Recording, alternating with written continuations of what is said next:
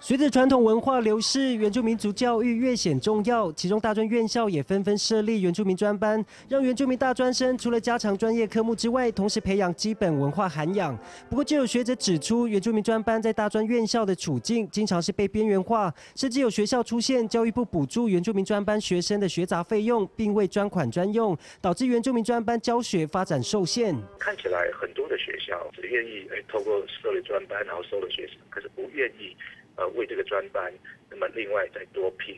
呃几位这个呃呃专属的老师啊，或者是助理。园民会每年那个学校最高大概二十到三十万左右的经费，甚至特定的学校所设立的专班，都还有可能有三百万的补助。教育部也不断跟各个设有园民专班的学校进行宣导，可以在顶尖大学计划教学卓越计划，把专班经费的需求就直接把它放在里面。知道民族系主任王亚平指出，多数原住民专班并没有专属的师资与行政人员，因为学校并没有把教育部提供的学杂费补助运用在原住民专班相关业务。除了经费这件事情外，另外一个就是说，呃，很多的呃专班都有反映的，就是师资源额不够，整个的政府的配套设施不足，非常强烈建议教育部应该有一个专管单位，呃，不能够只有审查那个呃呃专班而已，应该是开办之后要列序呃列后续的追踪跟辅导方式。由于过去大专院校招收原住民学生学杂费减免部分必须由校务基金去吸收原住民学生的学杂费，但目前已经改由教育。部全额补贴原住民学生的学杂费用。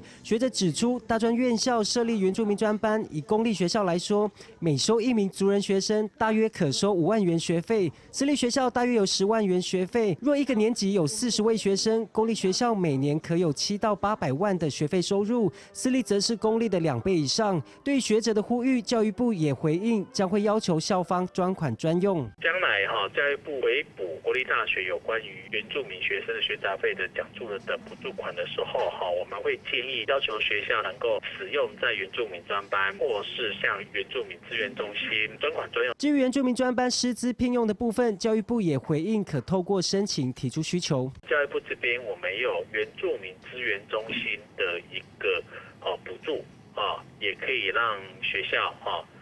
这些原住民专班或原治原资中心来提申请。原住民专班林立，各校都有说不出的难处。学者希望大专院校成立专班，不应只是收了学生却不经营，应该拿出诚意，提供完善的原住民族教育，保障学生的受教权益。记者吴马许家荣台北市采访报道。